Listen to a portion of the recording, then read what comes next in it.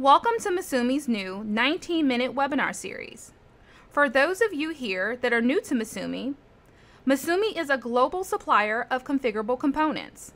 You may ask, why configurable? What is it? Configurable components solve the designer's dilemma. A designer has two choices for components, standard or custom. Standard components have limited selection and often force designers to compromise their designs. These many pluses, such as CAD, static part numbers, fast delivery, often seem inexpensive and convenient. The other choice is custom. Custom components have many drawbacks. Designers have to make the solid models themselves in all the manufacturing drawings. Purchasers too can attest to the long wait for quotes, the expensive setup charges for short runs, and the long lead times. We are forced to use custom components though because of the flexibility. Misumi offers configurable, which is the best of both, easy and flexible. Configurable components are easy to design with and purchase. Online, select the product geometry desired, the material and surface finish, input the size for each configurable dimension within the range and increment shown, you'll get a smart part number, instant price and days to ship, and the CAD model.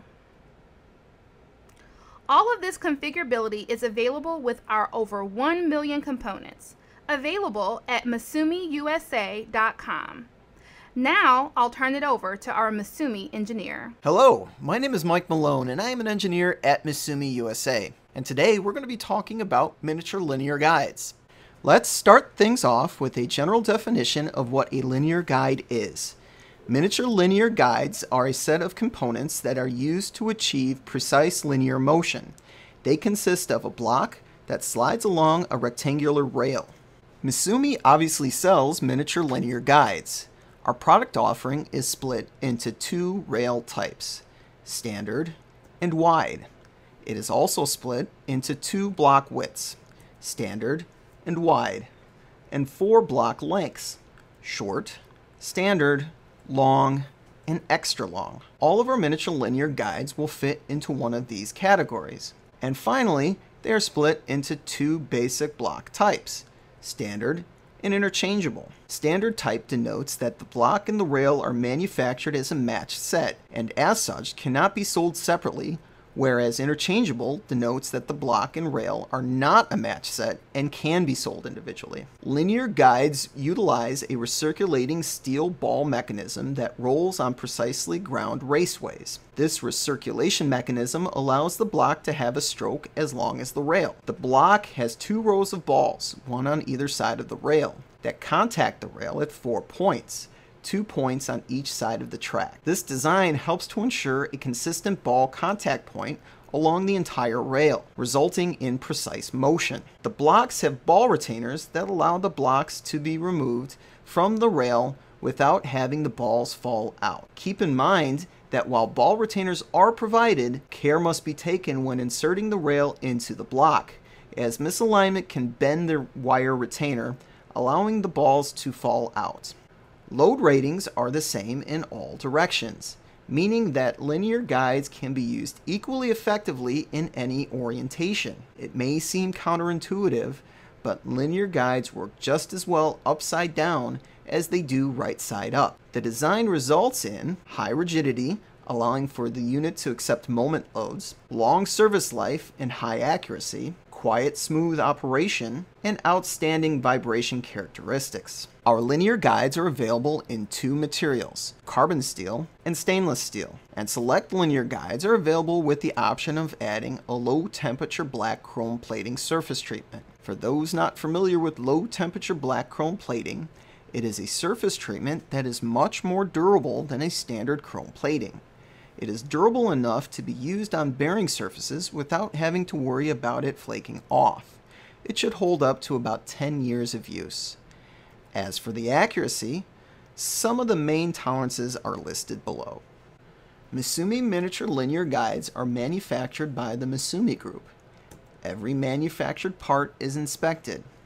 The assembled rail guides are inspected for friction resistance, whereas the measured resistance needs to be smaller than recommended values, and running parallelism, whereas the block reference surface needs to be fully parallel to the rail surface over the entire length of the rail. We do have some special grease options available for our miniature linear guides. Normally, these guides come with a lithium soap based grease, but there is an option to change that to a high temperature grease or a clean room grease. Note that the heat resistant type, dust resistant type, and the miniature linear guides with built-in lubrication units do not have these special grease options available. A datum marks the feature on a part that measurements are taken from. On Misumi linear guides, the datum surfaces are marked on both the rail and the block. In practice, these marks are used for installation in order to achieve consistency and accuracy. Continuing with notes on installation, it is important to pay attention to the flatness of the surface that is mounted to the block. If this surface is not flat, it can deform the block causing performance and lifespan issues. A 5 micron flatness is recommended. Also, when installing a rail or a block against a datum surface, it is important that the chamfers in the corner of the mounting surface are smaller than the chamfer on the rail or the block. This is to ensure that the datum surface on the rail comes fully into contact with the mounting datum surfaces. This may seem like a very small detail, but it is important to ensure proper assembly. When mounting a rail, linear cam locks can be utilized to ensure the entire datum surface of the rail comes into contact with the mounting datum surface. Both linear cam locks shown above are based upon eccentricity. As the cam locks rotate in their mounting holes, the head of the cam locks will push against the rail. Once the seating pressure has been applied, they are locked into place. Not only will these ensure that the rail is fully seated against the datum surface, but these can also take out slight bends in the rail. Again, this ensures accurate movement of the block after assembly. Another way to push the rail or block against a datum surface is to use locking plates. Shown are two different types of locking plates. They both do the same thing, just a little differently. The plate on the left has two sets of holes, mounting holes and a set screw hole. Once the plate is firmly mounted, seating pressure can be generated with the set screw. The plates on the right take a more simple approach in that the plate only has one set of holes in it, the mounting holes. This plate relies on a levering action generated when the mounting bolts are tightened. The effect is the same for both. They generate seating pressure, ensuring that the block or the rail is located against the datum. A third way of doing it is to use taper locks. As the mounting screw is tightened, the tapered edges transfer the vertical screw tightening force into a horizontal force. It is important to note that an additional surface besides the rail or the block must be provided for the taper lock to push against during installation. This surface is generally another edge, but could also be something like a set of dowel pins. So far, we have looked at mounting a rail or block against a datum surface. When a mounting datum surface is not provided, rails can still be installed. It just requires a little more work. The important thing to keep in mind is that both rails must be parallel. To do this, the first rail installed should be checked against a straight edge with a dial indicator. Once the first rail is mounted, the second rail can be installed the same way, or can be checked against the first rail with a dial indicator. If more space is required between the linear guides and the mounting surface, a set of height adjusting blocks can be used. So instead of making a set of blocks, you can order these with all of the mounting holes and a datum lip included, simplifying installation. Once the rails are installed, some accessories are available that might be useful. For example, Misumi sells linear guide clamps. These clamps allow the block to be locked into position. This lock uses a cam to press against the rail, thereby locking it into position. A simple method of providing a hard stop to prevent the blocks from coming off the rail is to use stopper bolts. These bolts replace the mounting screws at the ends of the rails. These bolts are long enough that they will physically prevent the blocks from coming off the rail. Obviously, these blocks do not have any dampening characteristics. So if it is expected that the block would come into regular contact with them, a dedicated stopper with a softer material on it, like a urethane tip stopper bolt, should be used. And finally, hole caps can be used to keep debris out of the mounting holes in the block. They can also be used for aesthetic purposes. As for the delivery you can expect, the miniature linear guides with low temperature black chrome plating will ship in 11 days.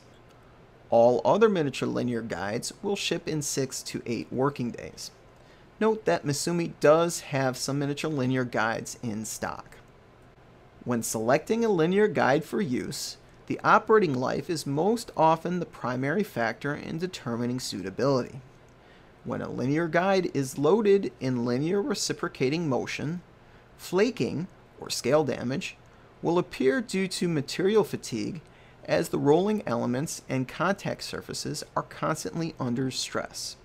The total distance traveled until the first flaking occurs is defined as the operating life of the linear guide. The rated life is the total distance traveled that 90% of the linear guides of the same type can reach under the same conditions with no flaking.